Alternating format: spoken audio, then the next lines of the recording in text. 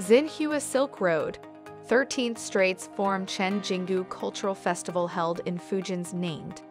The Chen Jinggu Cultural Festival, a three-day grand festival celebrating the sea goddess Chen Jinggu kicks off on Sunday at the Linshui Palace Ancestor Temple in Gutian County, Ningde City of southeast China's Fujian province. Chen Jinggu, the Lady of Linshui, has been worshipped as a guardian of pregnant women and children and attracted more than 120 million believers around the world, the majority of whom are from Fujian and Taiwan provinces. If you would like to read the full story, please click on our Asia Media News Facebook site